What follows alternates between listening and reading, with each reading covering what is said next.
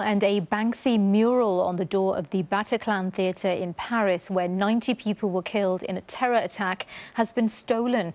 It's one of a series of murals painted by the British street artist and shows a woman wearing a veil.